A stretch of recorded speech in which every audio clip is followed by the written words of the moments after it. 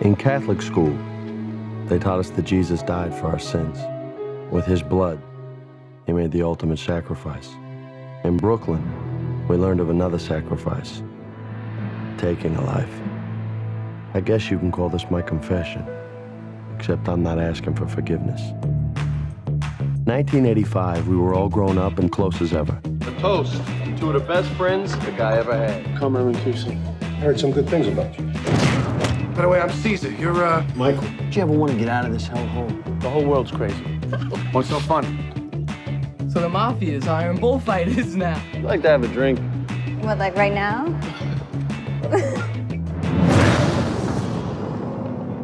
There is talk tonight of an all-out mob war. He's a good kid. He Works, he goes to college, he's done right by me. I don't want him touched. Gotta be careful who you cross in this town. I mean, on the outside, you're this cute, preppy guy, but on the inside, you're obviously the devil. Good with a bat, huh? It's a good skill to have. Come on. He's getting too involved with these guys. What are you looking at him for? He can't help you. Caesar likes you. I don't want him to like me. I want to go through life without Caesar Manganaro knowing I exist. There's a big difference between fear and respect. Sometimes you act like we don't come from the same place. No! Turn that thing off!